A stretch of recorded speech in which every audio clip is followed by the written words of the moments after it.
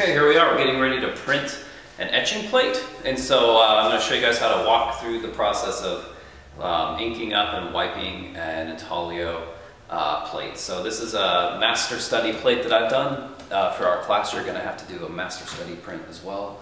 Um, so this is a Rembrandt master study that I've been working on for years and years, and it's got a lot of uh, mostly etching, some engraving and dry point in there as well. So I'm going to show you how to wipe that particular plate up, and we'll work our way kind of through that. So the first thing that I always suggest that you do is that you turn on the hot plate. So the hot plate is over here. the temperature should be set the way it's supposed to be, and there's a little switch on the back side of it over here that you just flip on, and that cranks on the hot plate. You want to get that good and warm before you go to wipe up your plate. And then we keep a whole bunch of phone books right here that people can use to um, clean up. I'll show you again how that works here in a little bit. So I like to take the phone book and put it on top of the hot plate, and then I like to take my um, etching plate here and put that on there and let that kind of start to warm up. You don't want it smoking, cooking hot. You don't want to bake this on there. You just want it on there. Uh, you want to warm it. So, uh, you know, this is where you get to wear your awesome gloves. So you want to make sure that you put on your, your gloves at this point. And then you come over here, and all of our inks are on this wall. They're all kind of neatly labeled. We have our four primary colors. Um, white is actually right here. We don't keep white um, in these caulking guns. But for the black ink that I'm going to use, you're just going to come over here and grab the one that's got the black ink in it. It's pretty easy to tell from the end that it's black. And you just want to squeeze a little bit of ink out. It doesn't need to be a ton. We're just looking for maybe like a silver dollar size. Um, you know, maybe an inch and a half size puddle there. And you always want to make sure that you push this button right here and you back the pressure off if you don't do that, when you go to put the gun back in its holster over here, it's going to keep running and it makes a giant mess. So if I come in the room and people haven't released the pressure on this, it's going to make me unhappy. So we want to, after you're done squeezing out your ink, you can just put this back where it goes, the holster over here, this is black on it. You can store it back over there in that. And then what we want to do is we want to get a palette knife, one of these ink knives, and then we want to grab this um, burnt plate oil. So it says over here, it says burnt plate oil, one drop at a time. We want to go ahead and grab that. And I always like to add just, just a couple of drops. So one, two, three, four, five. We'll go with five drops for this one. Just helps you to count it out and remember it. Um, so we'll go ahead and put the burnt plate oil right here. And then we just want to take our ink knife and we just want to kind of mix this ink in real nicely. So we want to try and kind of work it in. You want to do this is what's called warming the ink up. So you want to make sure that we get the ink all good and mixed and all warmed up and prepped and ready to go um, so that it's all kind of loosened up, right? Because this, as we know, the oil-based ink is just linseed oil with just maybe a little bit of varnish or something like that and pigment. So the linseed oil needs to get kind of warmed up for it to really print nicely. So, and there's a million different ways you can modify your ink. The burnt plate oil, if you add that in, it just kind of gives a little bit more stickiness. It keeps it so that you don't quite, um, maybe so you don't overlap the plate quite as easily. So once you've got your ink mixed, your plate's warm, just want to go ahead and grab one of these cards over here. So we have cards and the spot is clearly labeled for that. And you just want to get a little bit of your ink onto your card kind of like this. And then we want to just squeegee that on there. And we want to just kind of squeegee it on.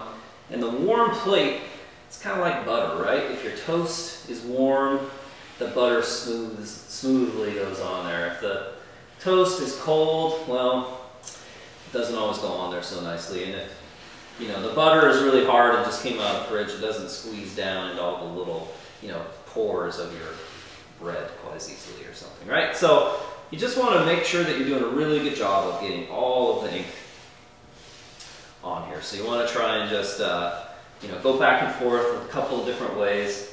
And then what I like to do is take kind of a clean edge of the card after I've got the ink in there and we're just trying to squish it down into all the low uh, places on the plate. And then I just pull, pull it off here and just kind of put, deposit the excess ink back on. And the more ink you can kind of squeegee off of your plate at this point, the less work it's going to be to wipe the plate, which I'm sure you are all going to be fans of as you go along. So I'm trying to get as much of the ink off of here as I can. Once I've got that off, then I just take my, um, you know, this thing which kind of contained all of the nasty edges that we got on there. And then we'll just, we'll throw that in the garbage can. So put that in the trash.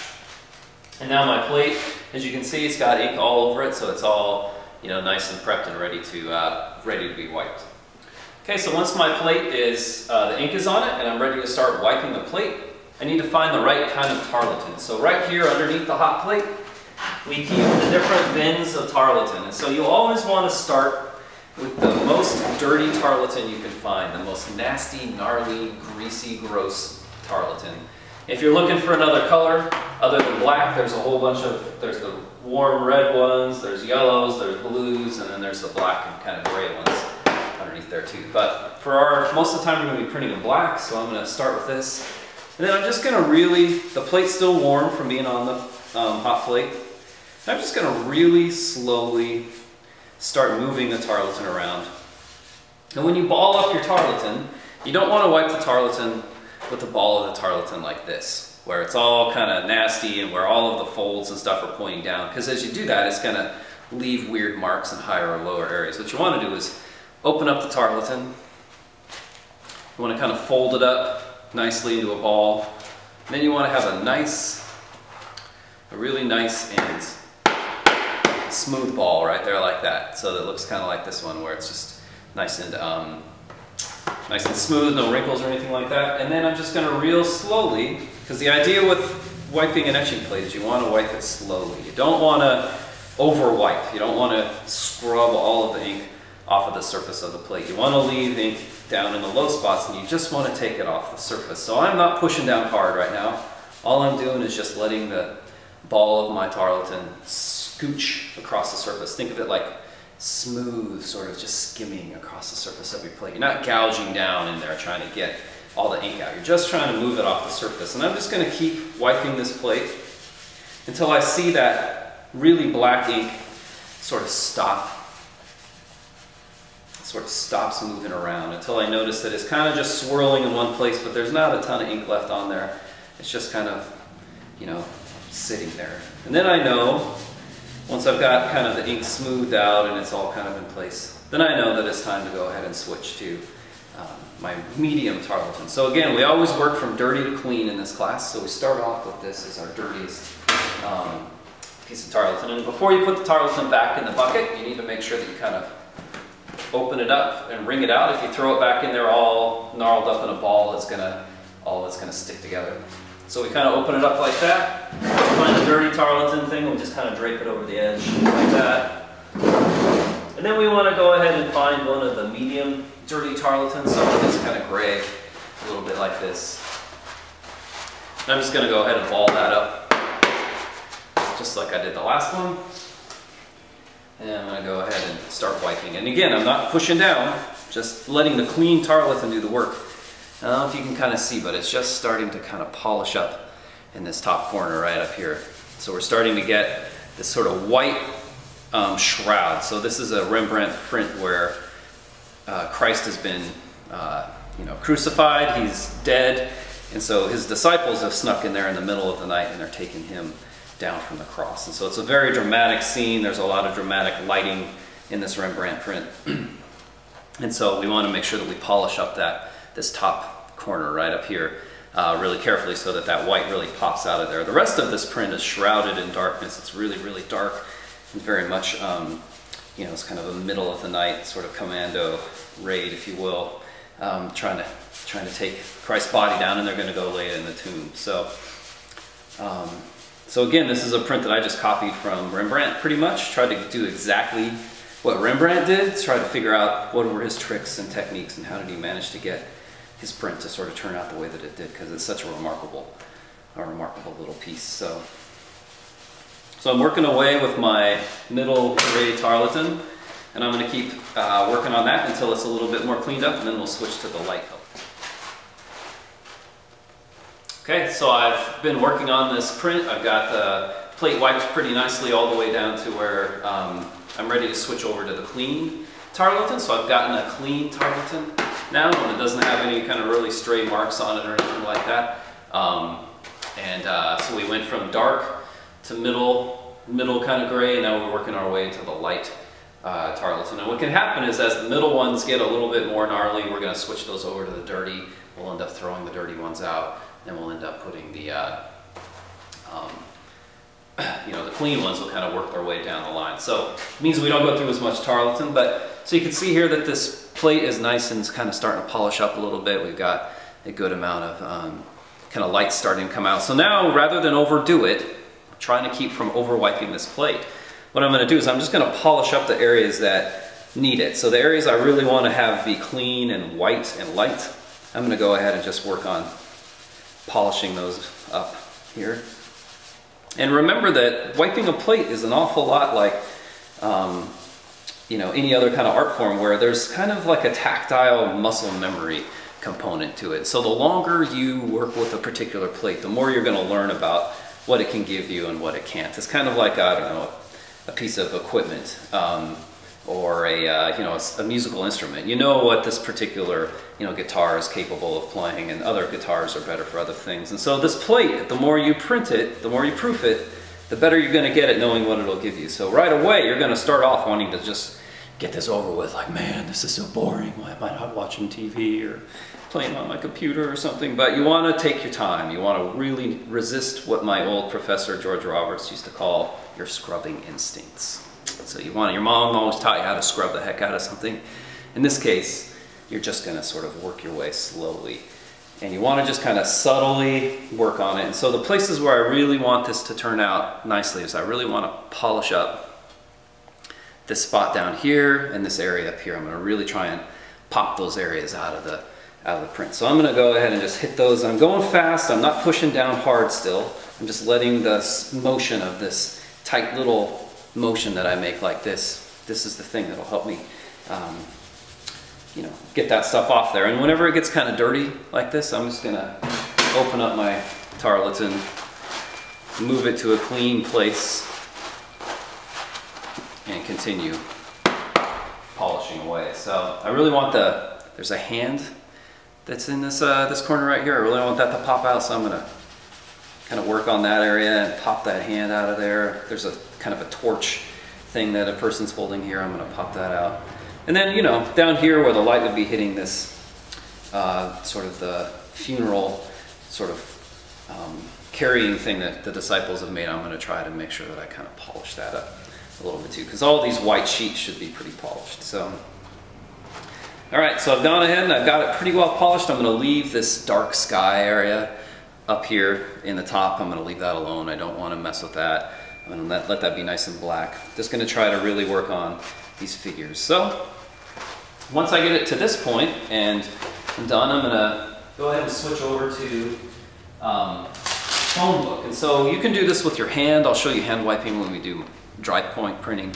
But for now, I'm just gonna um, polish this. And so I like to use these rubber gloves because it helps the, um, the phone book stick a little bit. And what we want to do is we want to skim the surface of the phone book over this plate, but we do not want to push down hard. I'm not scrubbing again, I'm just letting that phone book kind of glide over the surface. And what the phone book does is it really polishes up the white areas. So any place where I really want to make sure I've got things popping out, I'm going to work on that. So I'm going to work on this hand right over here that I've been talking about so much that I really want to have that thing really sort of jump out at you and maybe just a little bit, you know, right down here on this funeral bed. So, so once I'm done with that and I feel like, okay, the print is pretty well wiped, it's, uh, you know, I can see, I don't have any big chunks of ink in there, nothing's really grimy or anything like that. Then I'm gonna go ahead and work on uh, wiping the edges of the plate and I'll get the edges clean and I'll figure out how to um, get that ready to print. Okay, so so wiping the edges of your plate is the last stage before you get ready to run your plate through the press, which is just behind me here. So usually I keep my gloves on because you can either keep your hands dirty and put gloves on before you touch your paper, or you can keep the gloves on as you wipe your print up, and then you can just take them off and they're clean. So I like to do it that way.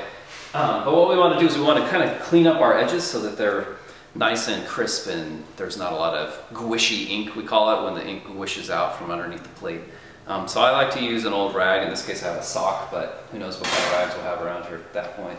And I like to take them and then I like to very carefully um, sort of just pinch, like real, real lightly. I just like to pinch and then just run the edge of that rag along uh, the edge of the plate. And I'm just trying to get that beveled area, that 45 degree angle bevel that we put on our plates before. Just trying to kind of clean that up so that I get all of the ink that's kind of lurking on there off and uh, there's not going to be any guishing, so stuff that shoots out of the bottom of the print um, when the plate is trapped between the press and uh, the piece of paper. So, um, so I'll just wipe these up. You want to be careful you don't overdo it, right? You want to be careful that you're not um, over wiping the edges of these, or else that'll look uh, goofy when you go to on the print. Um, and it'll stray off the spots you don't want it to.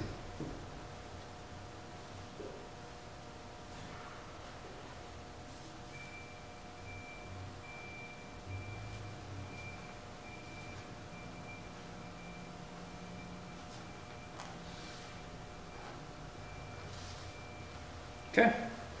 So now I've wiped the edges of my plate. My plate is uh, clean and ready to print and you can kind of see it as the light hits it. Um, you can see the different kind of subtleties of light and dark. And now when I go to print this, it's going to end up printing in reverse um, on my piece of paper under pressure.